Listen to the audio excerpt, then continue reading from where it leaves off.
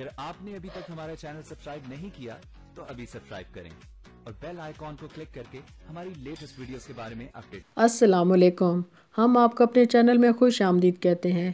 آپ نے مشہور ڈرامہ کیسا ہے نصیبہ کی ایپیسوڈ نمبر فائیو دیکھی ہے۔ جیسا کہ آپ جانتے ہیں، احمد مریم کو اپنی ملکیت سمجھتا ہے، کیونکہ اسے پتہ ہوتا ہے، نہ یہ کہیں آ سکتی ہے، نہ جا سکتی ہے، ہم نے اس کے پر کاٹ دیے ہیں۔ اس کو فون نہیں دیتا کہ اپنے گھر والوں سے بات کر سکے۔ پھپھو بھی احمد کی زیادتیوں کے بعد پوچھا ڈالنے کے لیے آتی ہے۔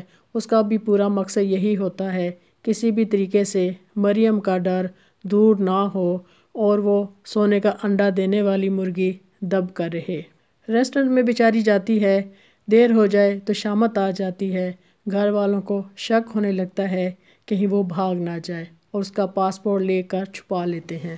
شدید بیماری کی حالت میں بھی اس کو چھٹی کرنے نہیں دیتے کیونکہ ان کو ڈر ہوتا ہے کہ اگر اس نے چھٹی کر لی تو پیسے کٹ جائیں گے اور ان کے گھر میں پیسے کم آئیں گے۔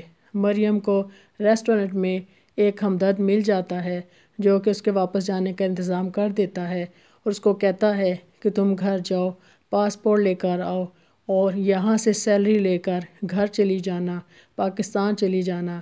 مریم کو ایک امید نظر آتی ہے، وہ گھر جاتی ہے، اپنا پاسپورٹ ڈھونڈتی ہے، لیکن اس کو کہیں سے نہیں ملتا۔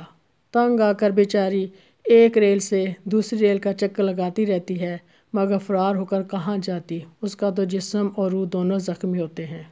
اس کی نت ثنا کا رشتہ لے کر وحید آتا ہے، وہیں اس کی ملاقات مریم سے ہوتی ہے۔ وہ آزاد ماحول کا پلا ہوا، مریم کی خوبصورتی اور سادگی سے بہت زیادہ متاثر ہوتا ہے۔ ثنا کی ماں اور اس کا بھائی جو کہ پیدائشی لالچی ہوتے ہیں، وحید کی امارت دیکھ کر اس کو ثنا کے لیے قبول کر لیتے ہیں۔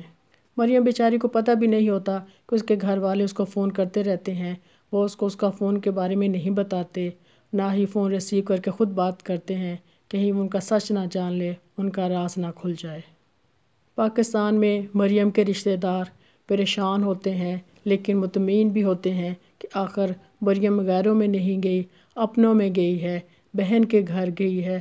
اس سے اپنی بہن کی محبت پر اور اس کی کہی ہوئی بات پر اندھ اعتماد ہوتا ہے اور یوں بہن کی محبت جیت جاتی ہے اور اس کی بیٹی ہار جاتی ہے۔ جو کہ وہاں پر بیٹھی بیچاری بہت رہی ہوتی ہے۔ مزید جاننے کے لیے دیکھیے ایپیسوڈ سکس اگر آپ کو ہماری ویڈیو پسند آئی ہو، لائک کریں، شیئر کریں اور سبسکرائب بھی۔